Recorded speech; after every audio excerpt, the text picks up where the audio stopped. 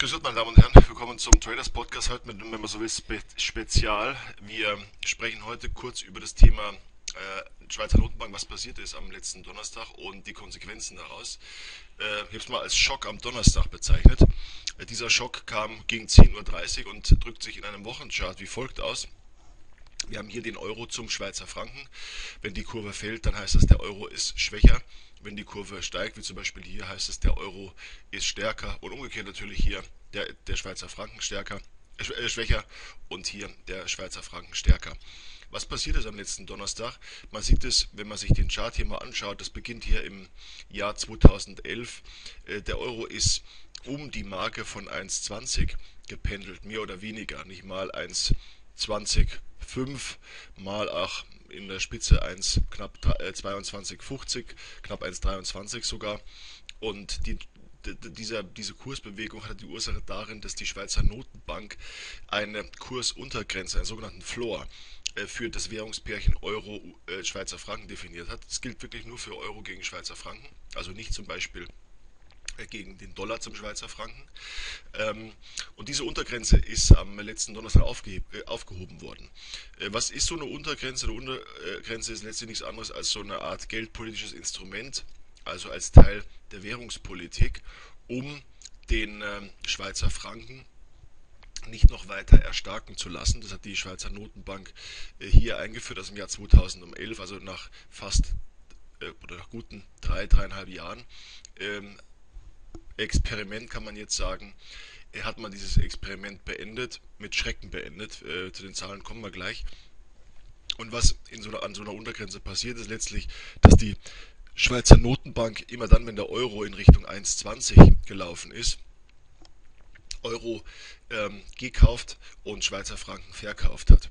Das führt in einer Notenbankbilanz zu, einem, äh, zu einer Expansion des, der, der Bilanz, also zu einer Bilanzverlängerung. Äh, und diese äh, Bilanzverlängerung drückt sich halt so aus, dass man einfach Devisenreserven aufbaut. Die Schweizer Notenbank hat ähm, in den letzten Jahren das, die Devisenreserven im Bereich Euro auf fast 500 Milliarden Schweizer Franken aufgestockt. Äh, also eine große Summe. Wenn man es in absoluten Zahlen betrachtet, wenn man es in relativen Zahlen betrachtet, hat die Schweizer Notenbank den, ähm, diesen sogenannten Floor ähm, ist relativ gesehen so lange verteidigt, dass die Euro-Devisenreserven ähm, im, im äh, beziehungsweise die, die Bilanz der Schweizer Notenbank relativ gesehen, also in Prozent gemessen, stärker gewachsen ist als die Bilanz äh, beispielsweise von der EZB oder auch von der amerikanischen Notenbank, der FED. Äh, man hat das äh, Experiment jetzt aufgegeben. Ich nenne es einfach mal so Experiment, weil im Nachhinein äh, können wir das als Experiment bezeichnen, weil man äh, aus irgendwelchen Gründen jetzt nicht mehr diese, äh, diese Eurobestände ansammeln wollte. Man könnte jetzt ausführen, das baut sich potenziell, potenziell bauen sich Inflationsgefahren auf. Naja, das meine ich jetzt, hat die Schweiz dieses Problem jetzt nicht. Und was natürlich jetzt auch passiert ist durch die Aufgabe dieser Kursuntergrenze, dass die Schweizer Exportwirtschaft natürlich enorm geschwächt worden ist.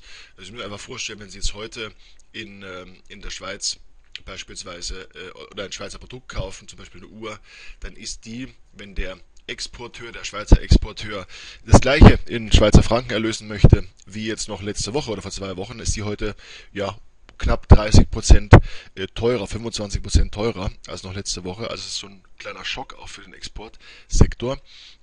Oder stellen Sie einfach vor, Sie fahren in die Schweiz im Urlaub. Schweiz ist ja jetzt auch nicht bekannt dafür, dass es so ein Discount-Urlaubsland ist. Oder war es nicht äh, bis letzte Woche. Dann ist Ihr Hotelzimmer, Ihr Skipass jetzt plötzlich 25, 30 Prozent teurer geworden. Äh, weil sie einfach diesen Währungsverlust beim Euro jetzt haben, auf diesen, diesen Wertverlust und umgekehrt natürlich den den Wertgewinn beim Schweizer Franken. Was hier passiert ist, man sieht das, äh, wie gesagt, das ist ein Wochenchart. Ich zeige gleich den Minutenchart. Man sieht das am Wochenchart natürlich unglaublich deutlich. Der Euro ist binnen, binnen Minuten von 1,20 auf, naja, je nach Datenfeed, je nach Datenanbieter gefallen, irgendwo in den Bereich 85, 80, 0,8, 0,85. Also ein Kursverlust von der Spitze 33 Prozent. Damit haben wir Rekord aufgestellt, denn eigentlich gab es unter den etablierten Währungen noch nie so einen starken Kursverlust in so kurzer Zeit. Das lag natürlich daran, dass die Schweizer Notenbank diese Maßnahme überraschend treffen musste. Überraschend natürlich deshalb, weil hätte man was verlauten lassen, im Sinne von, ja, wir denken über das Pack nach, über diesen Floor nach.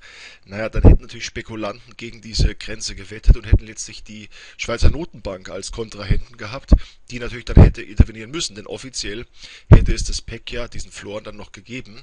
Also insofern hat man natürlich den Spekulanten so ein kleines bisschen den Wind aus den Segeln genommen und hat gesagt, hier an dem Punkt, wir setzen die Notenbank, äh, diese, diese Untergrenze jetzt ab sofort äh, aus oder wir, wir streichen die, die, diese Maßnahme aus unserem geldpolitischen Repertoire, sodass der Euro letztlich abgestürzt ist. Jetzt aktuell pendelt er so um die Marke von 1. Man sieht das hier am Minutenchart. Letztlich diese Kursbewegung um 1,20 ist eigentlich gar nicht mehr zu erkennen. Letztlich sieht man nur einfach diesen Downfall, diesen Absturz von 1,20 bis ja in der Spitze 0,85. Ähm, wie gesagt, Gründe über Konsequenzen fundamentaler Art äh, kann man eigentlich wieder ein eigenes Seminar äh, halten. Das ist auch jetzt nicht Gegenstand von dem heutigen Tag. Wir haben eben über Schäden gesprochen. Ich habe die Exportwirtschaft angesprochen. Es gibt natürlich noch andere Schäden, äh, nämlich bei, äh, bei Brokern, aber auch bei Anlegern, die, wie ich meine, nicht ganz ähm, zu Unrecht in diesem Währungspärchen Pärchen Long waren. Warum nicht ganz zu Unrecht? Naja, weil immer wieder dieses Pack, dieser, diese Untergrenze bestätigt worden ist. Am Dienstag vor dem äh, Downfall, also knapp vor einer Woche, hat sich nochmal ein Direktoriumsmitglied von der Schweizer Nationalbank, der SNB, hingestellt und gesagt, die Dantine, Jean-Pierre Dantine, die Untergrenze äh, gehört zu unserem geldpolitischen Cornerstone, zu unserem geldpolitischen Eckpfeiler. Daraus hätte man jetzt nicht unbedingt schließen können, dass zwei Tage später selbige dann abgeschafft wird. Oder Thomas Jordan, der Präsident der SNB, der noch auf der Dezember-Sitzung konstatiert hat, dass die äh, und dass dieses Pack mit allen Mitteln verteidigt wird. Naja, jetzt kann man natürlich ein bisschen über die Glaubwürdigkeit von Schweizer Notenbanken sprechen. Aber wie gesagt, das ist kein Thema äh, heute. Aber nichtsdestotrotz äh, gab es meines Erachtens jetzt schon Gründe, dass man als Spekulant, als Trader gesagt hat, okay, wenn denn die Bekräftigung der Notenbank so aussieht, dann kann ich auch auf die Long-Seite gehen und mir äh, die Long-Seite dann äh, einfach mal nehmen, denn das, diese 1,20 war natürlich sowas wie ein eingebauter Put oder ein eingebauter Stop-Loss, da die Notenbank das Versprechen abgegeben hat, hier zu intervenieren und diese Marke zu verteidigen. Allerdings ist es nicht passiert, wie wir jetzt wissen. Was es am Markt ausgelöst gelöst hat, sieht man eigentlich ganz gut hier. Nach so einer Maßnahme gibt es natürlich keinerlei Liquidität mehr. Und Liquidität, die Prämie auf Liquidität äußert sich natürlich immer im Spread. Äh, nicht umsonst hat der Euro-Dollar, der das liquideste Währungspaar der Welt ist, auch den niedrigsten Spread und zwar ganz generell, abgesehen jetzt von, äh, vom letzten Donnerstag. Und was beim Schweizer Franken passiert, ist hier die rote Linie im Vergleich zum Euro. Das Brett hat sich geweitet und zwar auf 6,489. Runden wir auf auf 6,5, aber nicht, nicht 6,5 Pips, wie Sie jetzt äh, glauben, sondern 6,5 volle Punkte.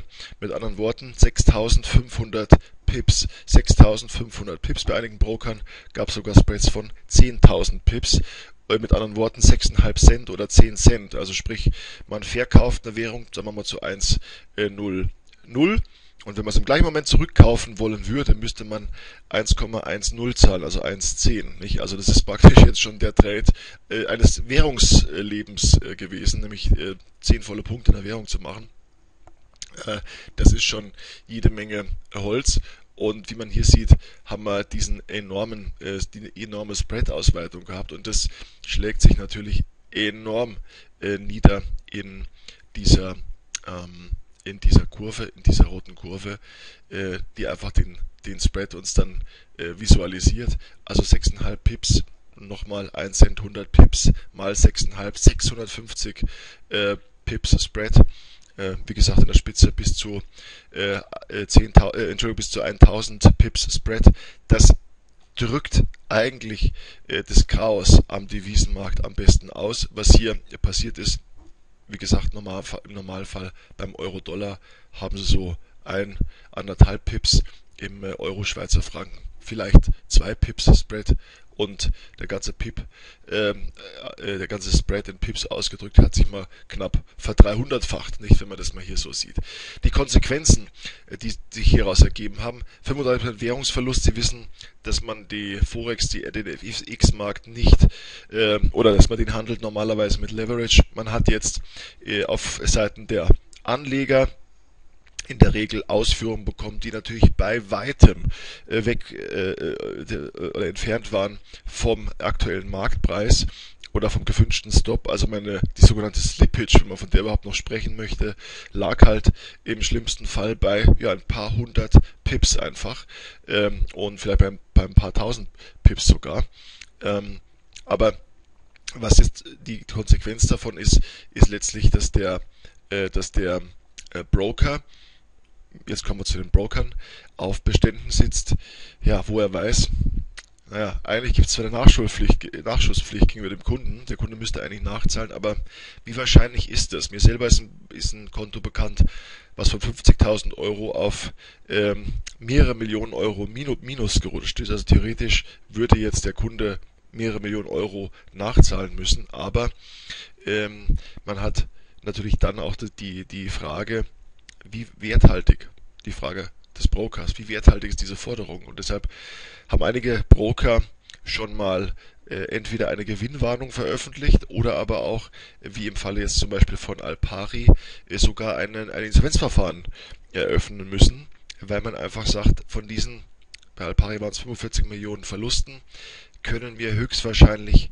äh, wirklich nur einen Bruchteil wieder eintreiben von den Kunden und das reicht dann nicht mehr aus, um unser regulatorisches Eigenkapital aufrechtzuerhalten, schon mal gar nicht, aber auch ähm, um äh, einfach in diesen Insolvenz, in den Insolvenzfall zu kommen und dann meldet man einfach diesen Insolvenzfall an. Man sieht hier in der rechten Spalte die geschätzten Verluste den Bro der, der Broker. Alpar ist sicherlich ein bekannter, ein sehr bekannter, wie ich finde, äh, Name, der diesen Insolvenzverfahren angemeldet hat. Excel, ein weiteres, ähm, ein weiteres, äh, weiterer Broker aus Neuseeland, ebenfalls insolvent. Und ansonsten gab es große Verluste. Der größte Verlust, der so angefallen ist, FXCM mit über 225 Millio äh, Millionen Dollar. Man sieht es hier. Die sind am äh, letzten Freitag noch in einer Nacht- und Nebel-Aktion äh, sozusagen verkauft oder gekauft worden ebenfalls von einem US-Broker, ähm, sodass auch die Kunden Konten mitgenommen äh, werden können. Muss ich dazu sagen, ich, das mag jetzt nicht repräsentativ sein, aber ich habe noch nichts davon gehört, was mit den negativen Kundensalden jetzt passiert. Schreibt man die ab, streicht man die, erlässt man die den Kunden oder ähm, treibt man die ein. Alles das ist noch in dem Fall FXCM offen. Äh, mehr dazu aber auch gleich später. Es gibt ansonsten, äh, ich habe hier mal einige Broker aufgelistet äh, aus dieser Quelle, die Sie hier unten sind, Forex, forexmagnates.com, die Statusmeldungen abgegeben haben. Sie sehen, bei vielen läuft Business as usual, zum Beispiel bei AlphaTrade läuft Business as usual. Es läuft allerdings auch bei zum Beispiel Dukas Copy Business as usual. Es läuft auch bei, bei vielen anderen Business as usual, also sind nicht alle so betroffen worden. Wo man konkrete Zahlen natürlich hat, und das ist wiederum positiv, sind bei börsennotierten Broker, wie zum Beispiel IG, man kennt die noch als IG Markets, die haben relativ schnell nach diesem Einschlag gemeldet, dass man im schlimmsten Fall, also sollte wirklich kein Euro an Kundengeld mehr zurückkommen, 45 Millionen US-Dollar äh, zurück oder verliert. Äh, das ist für ein 3, 2,5, 3 Milliarden Unternehmen börsennotiert, wie gesagt, verkraftbar. Allerdings ist natürlich auch viel Geld, was über die Wupper geht. Interactive Brokers ähnlich 120 Millionen. Auch hier ähm, haben wir eine Notiz und auch hier äh, ist der Verlust heftig schlimm, äh, allerdings verkraftbar. Äh, was noch auf dieser äh, Grafik logischerweise nicht enthalten ist, und da kann ich Ihnen auch wenig drüber sagen, ist ähm, äh, was jetzt noch alles kommt, was noch an Leichen im Keller liegt. Denn das ist so, wie wenn der Sturm durch Ihr Haus braust. Man braucht ein bisschen, bis man hier weiß, was Sache ist, wie, bis der Status quo ermittelt worden ist. Und insofern dauert das noch ein kleines bisschen.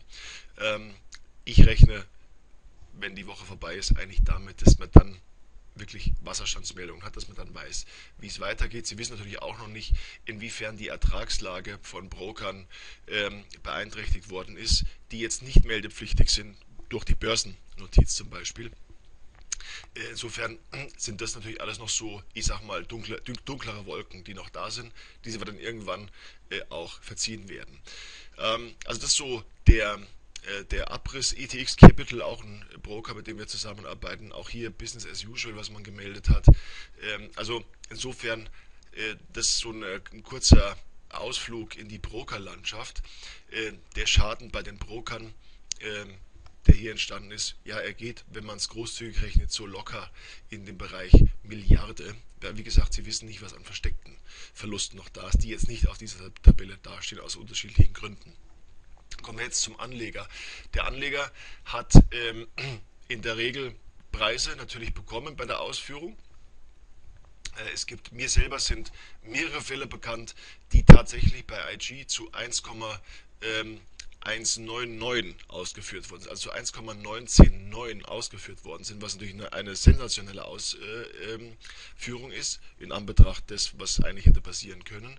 Es gibt aber auch Anleger, die äh, bei anderen Brokern oder teilweise auch beim gleichen Broker sehr viel schlechter ausgeführt worden sind, zum Beispiel mit 0,95. Ähm, letztlich hat es damit zu tun, dass der Broker selber keinen oder angewiesen war auf, auf seinen Liquidity Provider, also von dem er dann die Liquidität bezieht, Deutsche Bank zum Beispiel, ähm, äh, und ähm, die Möglichkeit, das ist in den allgemeinen Geschäftsbedingungen äh, geregelt, dass der Kurs dann nachträglich noch, äh, korrigiert wird, die hat der Broker. Hat auch nicht ganz zu Unrecht, muss man ganz fairerweise sagen, weil natürlich irgendwo äh, der Marktpreis ähm, ja, auch äh, fair ermittelt werden muss. Und das ist natürlich schlecht möglich, wenn ich jetzt wirklich nur in Anführungsstrichen kleinere Privatkunden ausführe ähm, und im Vergleich dazu keinen, äh, keinen Preis meines Liquiditätsproviders habe.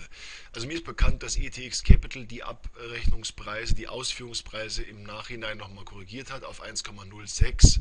Okay, das sind, also wenn man so will, ähm, 14, ähm, 14 Punkte, äh, die man, die man äh, sozusagen schlechter ausgeführt hat, als der Markt dann war, oder, oder beziehungsweise der, ein möglicher Stopp äh, gewesen wäre, knapp unter 1,20. Alpha Trade hat bei 1,045 ausgeführt. Also auch das sind ähm, Ausführungspreise, die man so ein kleines bisschen als Referenz nehmen kann, äh, wenn man jetzt in äh, Gesprächen mit Brokern ist, weil man zum Beispiel in einem Margin Call liegt und jetzt die Frage erörtern muss, wie geht es weiter. Ähm, Viele Kunden haben einen, einen negativen, eine negative Balance, das bedeutet, sie sind in der Nachschusspflicht, sie müssen Geld nachschießen. Das ist letztlich einfach das Risiko eines ähm, gehebelten Kontos.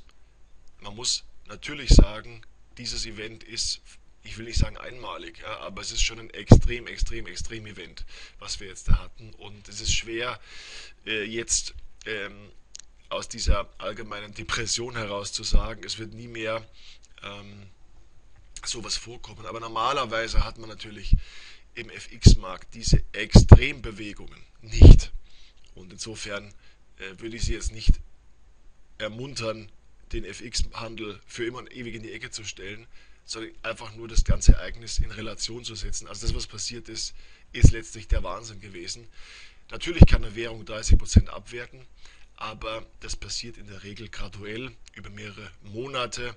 Äh, der Euro hat auch jetzt gute 20% oder fast 20% abgewertet seit Juni, das ist ein halbes Jahr. Und äh, auch da äh, hat man jetzt nicht diese Extremstverwerfung gehabt, diese Schocks, wie man so schön sagt, die man jetzt ähm, beim Schweizer Franken gesehen hat. Also insofern, ähm, natürlich kann man es nicht nie ausschließen, natürlich nicht, aber das sind schon extremst, extremst, extremst Events. Die Nachschusspflicht, ähm, in der man jetzt steckt, hat, haben ein paar Broker dazu genutzt, zu sagen, wir machen ein bisschen Werbung in eigener Sache, zum Beispiel Oanda oder Dukas Copy. Beide haben gesagt, alle Account Imbalances, also alle negativen äh, äh, Kontostände erlassen wir den Kunden. Wir streichen das. Der Kunde hat damit in Anführungsstrichen nur einen Totalschaden, also den Totalverlust des eingesetzten oder des eingezahlten Kapitals, aber er hat jetzt nicht darüber hinausgehende Verluste. Ist eine tolle Maßnahme. Man muss oder man kann die Frage stellen, ob natürlich dann das die Broker sind, die vielleicht auch gegen den Kunden gehandelt haben, sprich, die den Verlust des Kunden sozusagen als Gewinn vereinnahmt äh, haben. Ich will das gar nicht weiter ausführen, ich will es einfach nur erwähnen, weil es könnte natürlich sein, dass man dann sagt, naja, der Herr XY hat sein Konto angenommener Kontostand 5000 Euro jetzt auf minus 15.000 Euro gewirtschaftet. Aber wir sind mal nicht so. Wir behalten nur die 5000, also die Einlage, als unseren Gewinn und erlassen die restlichen 15.000. Also letztlich hat man zwar nicht so viel gewonnen, man hat auch nichts verloren, aber ich will es einfach nur mal zur Diskussion stellen. Ich, mir sind auch keine Infos bekannt, aber ich sage mal so ein bisschen, der Verdacht könnte man daraus entstehen oder könnte daraus entstehen. Also es könnte sein, dass das der Fall ist, muss aber nicht. Ähm, auf jeden Fall sind das natürlich marketingmäßig ganz gute äh, Meldungen gewesen, aber letztlich auch für Sie, wenn Sie in der Nachschusspflicht sein sollten und in Verhandlungen mit Ihrem Broker treten, äh, ein Argument, dass man mal sagen kann, Himmel, ihr wisst doch eigentlich, Wanda und Dukas Copy haben äh, uns oder haben ihren Kunden die negativen Salden einfach gestrichen, einfach erlassen, nicht, wenn man so will. Also das ist sicherlich ein Argument, genauso wie die beiden bekannten Abrechnungspreise. Wenn man also jetzt viel schlechter ausgeführt worden ist, ich kenne auch Leute, die mit 0,94 ausgeführt worden sind, könnte man noch sagen, also hör mal zu, äh, bei AFA bin ich bei 1,04 ausgeführt worden, also 10 Punkte besser als bei dir. Mhm. Wie ist es denn, wenn wir uns auf so einen Deal einigen würden? Nicht? Also alles das sind äh, Argumente, sind Punkte, aber letztlich grundsätzlich die Nachschusspflicht, ich habe es äh, eben schon mal gesagt, es ist eine Pflicht. Äh, man muss es, äh, wenn, wenn man wirklich insistiert äh, als Broker, man muss es ähm, nachzahlen. Die Frage ist, oder natürlich auch, kann man es nachzahlen? Und äh, das ist wieder ein ganz anderes Blatt. Wenn man es natürlich nicht kann, dann wird der Broker irgendwann auf äh, der ja, auf, so ein, auf der Forderung sitzen bleiben. Nicht? Oder vielleicht ist er auch bereit, einen Deal mit dem Kunden einzugehen. Und diesen Deal meine ich, das ist das, wo man, meine ich, am weitesten kommt. Ansonsten ist man eigentlich in so einer Art Rechtsstreitigkeit drin, weil der Broker müsste dann äh, zum Anwalt, müsste den Anwalt beauftragen und müsste dann den Kunden eventuell auch anwaltlich auffordern, diesen Nachschuss zu überweisen. Die, ähm, diese Nachschusspflicht besteht also. Ähm, was man natürlich als Argument anführen kann, ich habe es eben schon mal gesagt, die Abrechnungspreise der Konkurrenten, ich habe zwei jetzt aufgeführt, wenn Sie äh, im Internet noch ein bisschen unterwegs sind, dann kann ich die, die, die Seite hier mal empfehlen, äh, www.forex, ich schaue das, dass ich es richtig schreibe, magnatis.com. Hier sind relativ aktuelle Meldungen äh, zu dem Thema drin. Wenn man also jetzt im Laufe der nächsten Tage von noch mehr Brokern erfährt, dass zum Beispiel sowas gemacht wird, dann ist das Argument natürlich noch etwas, wenn man so schön will, etwas stärker, etwas kräftiger, als wenn man nur sagt, äh, ja, es, es waren ja nur zwei Broker. Also man kann auf Wanda und Dukas Copy äh, verweisen, die beide die Nachschuss, diese negative Account Balance dem Kunden erlassen haben. Und ansonsten meine ich, kommt man am weitesten, wenn man einen Deal aushandelt. Ein Deal, klar, das hängt natürlich, das ist schwer, ist auch für mich, Ihnen zu sagen, wie ein Deal aussieht, aber ich kann einfach nur die Argumente sagen. Ähm, man kann natürlich sagen, ich biete die Hälfte sofortige Zahlung an, wenn das irgendwie möglich ist und wir vergessen den Rest. Ich kann möglicherweise auch eine Ratenzahlung vereinbaren. Ich kann sagen, na, ich zahle gar nichts, ich will jetzt erstmal von Rechtsanwalt Post haben und jetzt schauen wir mal, wer Recht bekommt. Aber in Klammern, da mussten sich schon so um größere Beträge handeln, damit nämlich auch dann für den Anleger der Rechtsanwalt irgendwie ökonomisch ist. Denn eins ist auch klar, ähm, man braucht natürlich in so einer Situation dann wenn es wirklich zu einer Streitigkeit käme, auch einen Anwalt. Und der Anwalt, das kann ich aus eigener Erfahrung sagen, weil wir hier mit sehr vielen Anwälten ähm, arbeiten, der wird es auch nicht, nicht für nichts machen. Ganz wichtig und ich habe in den letzten Tagen sehr viele Gespräche mit, mit äh, befreundeten äh, Mitarbeitern von Brokern äh, geführt. Es besteht auf Seiten des Brokern, äh, Brokers durchaus, ohne äh, das jetzt in irgendeinen ähm, äh, sarkastisch auszudrücken, ein Interesse daran, dass man den Kunden den es jetzt wirklich voll erwischt hat und der wirklich vielleicht jetzt äh, sehr, sehr, sehr viel mehr äh, verloren hat als äh, das, was er als Einlage ähm, gegeben hat, vielleicht auch noch mehr verloren hat, als er zu Hause auf dem privaten Konto hat.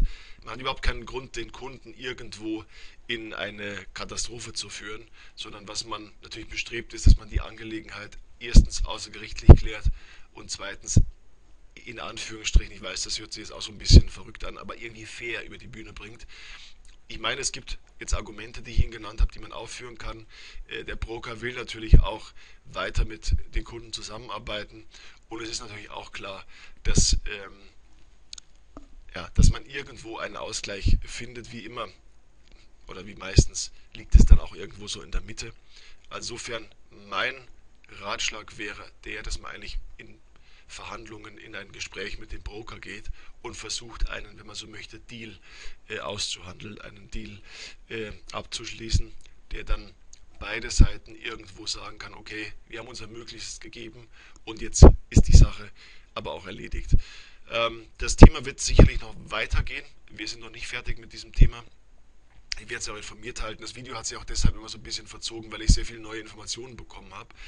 Und ähm, es wird sicherlich jetzt sich auch in der Landschaft ein bisschen was ändern. Broker, die es nicht mehr so toll dastehen, werden vielleicht übernommen von größeren Konkurrenten.